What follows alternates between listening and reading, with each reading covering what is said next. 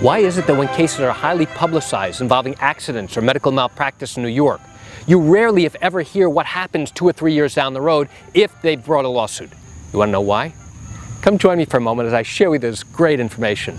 Hi, I'm Gerry Oginski. I'm a New York medical malpractice and personal injury trial lawyer practicing law here in the state of New York. Today I'm shooting video at a park near my home. It's a beautiful day today. Kids playing in the park, they're screaming, they're yelling, they're having a great time. And I wanted to share this great information with you.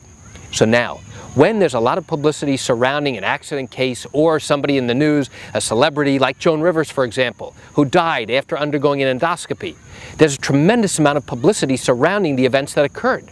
But why is it that if they bring a lawsuit or their family brings a lawsuit, you rarely will hear what happens to them ultimately, unless that too makes the news. The answer is that in all likelihood, that type of case will settle before it ever gets to trial.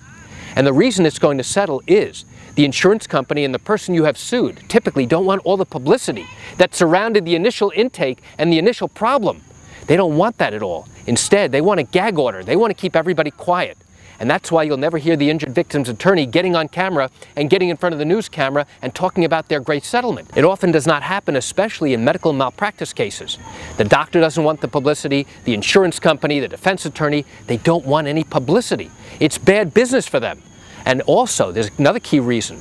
The insurance company doesn't want to set the benchmark for what that type of injury is worth. Let me give you an example. Let's say you suffered a severe fracture and needed surgery to fix the problem. And now the insurance company settles the case with you for $1 million. And now, if that's publicized, what does that mean? It means that all the attorneys who handle similar cases with similar injuries are going to come back to this insurance company and say, hey, you settled this case involving this celebrity for $1 million. My client has not only that type of injury, but much worse injuries. So now they've established the benchmark for what that type of injury is worth. And the insurance company clearly does not want that to happen.